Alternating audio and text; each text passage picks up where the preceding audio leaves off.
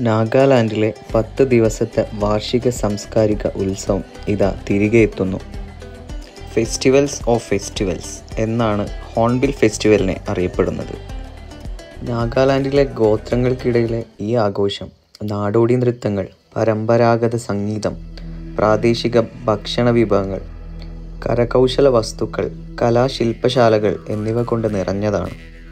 സംസ്ഥാന ടൂറിസം കലാ സാംസ്കാരിക വകുപ്പുകളുടെയും കേന്ദ്ര സർക്കാരിന്റെയും പിന്തുണയോടെയാണ് ഫെസ്റ്റിവൽ സംഘടിപ്പിക്കുന്നത്.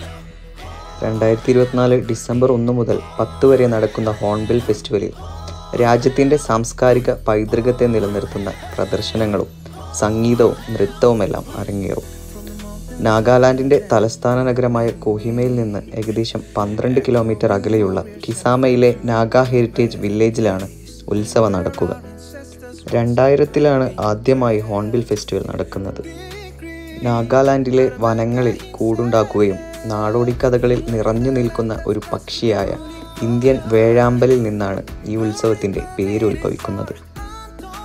നാഗാലാൻഡിലെ വൈവിധ്യമാർന്ന ഗോത്രവർഗ സംസ്കാരം പ്രദർശിപ്പിക്കുന്നതിനൊപ്പം ഗോത്രങ്ങൾ തമ്മിലുള്ള സഹകരണം വളർത്തിയെടുക്കാനും സംസ്ഥാന ടൂറിസത്തെ പ്രോത്സാഹിപ്പിക്കാനും സംരംഭകർക്കും കലാകാരന്മാർക്കും അവരുടെ ഉൽപ്പന്നങ്ങളും കഴിവുകളും അവതരിപ്പിക്കൊരുക്കാനുമാണ് ഫെസ്റ്റിവൽ ലക്ഷ്യം വെക്കുന്നത്.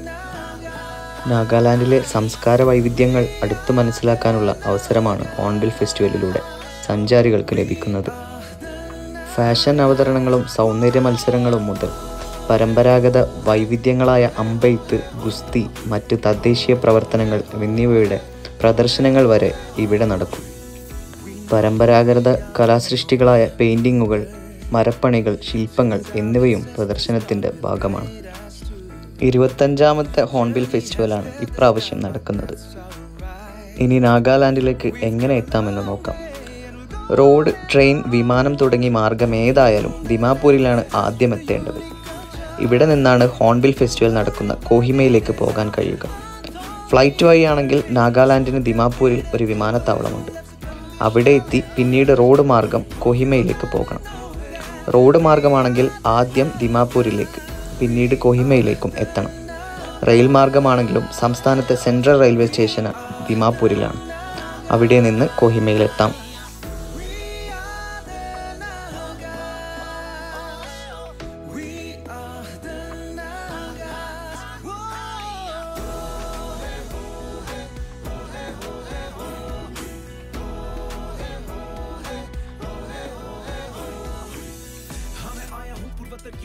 से देखने में अलग संस्कृति भी अलग लेकिन प्यार